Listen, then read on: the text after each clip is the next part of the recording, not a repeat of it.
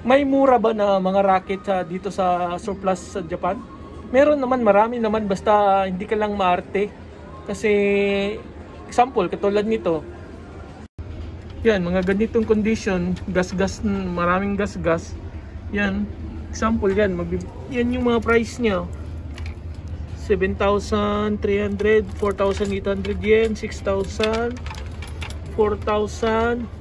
Ito, meron namang mura yan, oh. 2,800 yen. Mga old model siya na mga racket. Tapos ganito yung mga condition niya. Yan, oh. Maraming nitong mga ano eh, gas-gas yung mga protector. Yan, oh. Oh. Dami niya siyang gas-gas. Mura nga siya. Siguro mabinta natin to sa Pinas na oh, maraming gas-gas, oh. Mabinta natin to ng magkano? 2,000, 3,000 pesos. So ganito yung condition.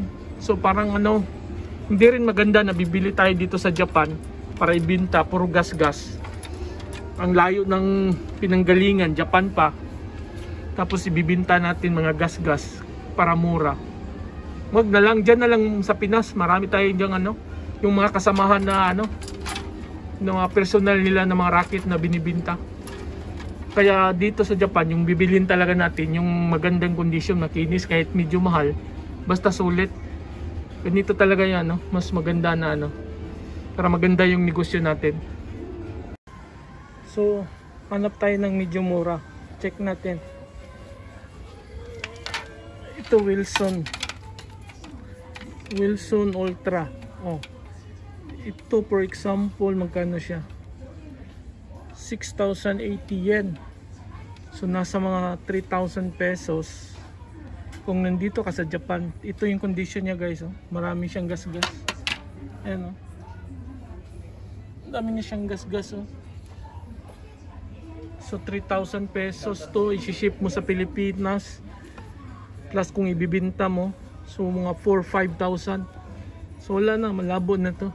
Kasi maraming gas-gas oh. Ayan oh. So kaya piliin talaga yung mga racket.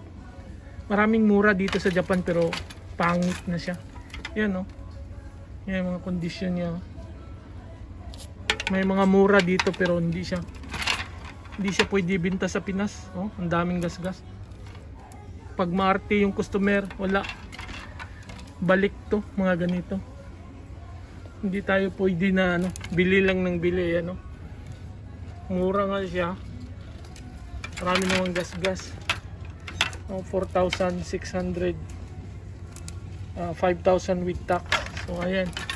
Ito yung tag 2,000 plus na mga racket.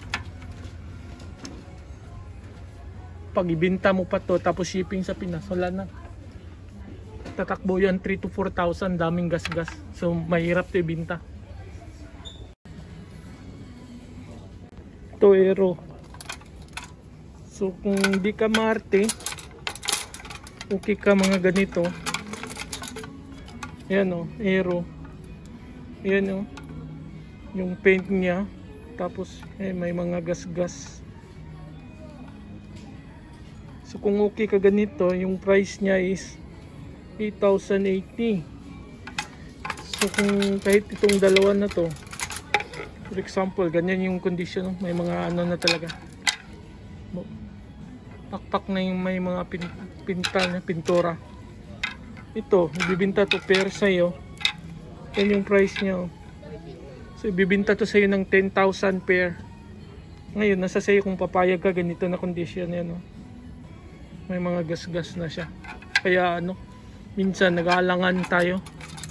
Medyo malabo. Baka ayaw ng customer. So kahit mahal, basta maganda. Itong isa walang gat. Ito walang gat. Kung na, gamit na yung protector niya pero yung price mas mahal to 11,000. Walang gat tapos gamit na. So hindi siya maganda. Mahirap to ibenta sa Pinas. So ganito yung ano dito.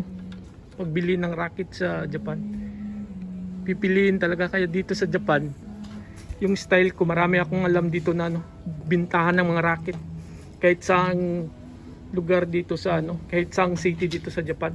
Kaya pinipili ko talaga, pinupuntahan ko isa-isa. Yung magaganda lang yung binibili natin.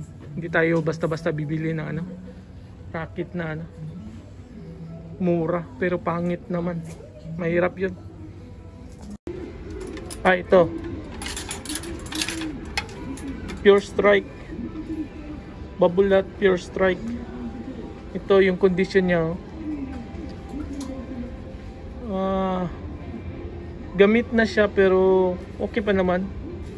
Yan oh, may kunting ano lang scratch sa pintura. So magkano yung price nito? Yan, 11,000 yen. So ito yung price ng Pure Strike. So itong condition na to, yung price niya is 11,000. So depende sa condition na bibilin mo. So ito, oh, pag isiship, isiship mo to sa Pinas, of course mas mahal na to. So ganito yung mga price ng surplus sa racket sa Japan. So tara, check pa natin yung iba. Ah, ito.